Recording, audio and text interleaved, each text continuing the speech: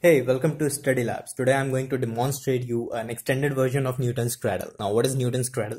It is a very famous experiment in which uh, four or five you know balls are tied with uh, strings, and when you move one, you know, and release it, it will strike uh, the other ones, and from this side, one will go uh, away, right?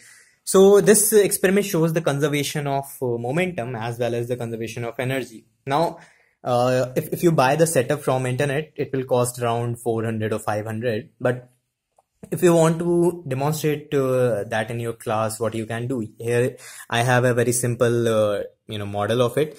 I have two scales 30 centimeter long and i have ball bearing. These are the simple ball bearings you can you know purchase from anywhere. And uh, when you put it here and you release it now you can see that only one goes from the other side. The same happens in this setup the you know the famous model of Newton's cradle and the same is happening here also. If you, you know, took two uh, spheres and uh, send them, then you can see that two are going from that side. What will happen if we take three? If, we, if I take three balls or three spheres and I hit them, you know, you can see that three will go on the other sides, right? So this uh, experiment shows the conservation of momentum